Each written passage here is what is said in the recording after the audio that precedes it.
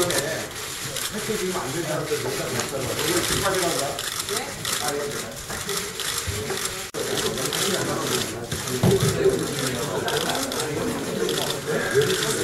부산 시민들의 그동안 겪었던 아픔과 분노가 담겨 있다고 생각합니다. 성남 민심 앞에 새누리당의 박근혜 위원장도 급히 부산에 내려가신다고 합니다. 그러나 진정으로 부산의 목소리를 경청하러 가는 것인지 의심스럽습니다. 정작 박근혜 비대위원장의 아바타인 정수장학회는 부산 시민의 대변자인 부산일보를 부산일보의 입을 막았습니다. 편집권마저 장악하려 하고 있습니다. 부산일보 사주인 정수장학회는 정수장학회의 사회 환원을 요구하는 기사를 실었다는 이유로 편집국장을 대기 발령내고 노정위원장을 해고시켰습니다. 심지어 이를 보도하려 하자 발행을 중단시키기도 했습니다. 참으로 부끄러운 일입니다.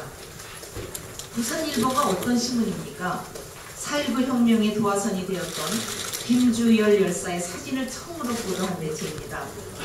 이런 부산일보와 부산일보 장학회를 박정희 독재정권은 강탈해서 정수 장학회를 만들더니 이제 박근혜 위원장은 부산일보의 영혼마저 빼앗으려 하는 것이 아닌가 싶습니다. 박근혜 비대위원장에게 정중히 요청합니다. 부산 민심을 듣고 싶으십니까? 그렇다면 먼저 정수 장학회를 사회에 환원하고 부산일보를 시민의 판에 돌려줘야 합니다. 부산은 지금 아픕니다. 그리고 서럽습니다. 새누리당 정권은 저축은행 사태 때 어떻게 말했습니까? 말했습니까? 괜찮다. 더 이상 영업정지는 없다. 오 시민을 속였고 신소, 신공항도 또 속였습니다. 더 이상 부산 시민을 우습게 보면 안 됩니다. 부마 항쟁으로 박정희 유신 독재를 마감시킨 부산입니다.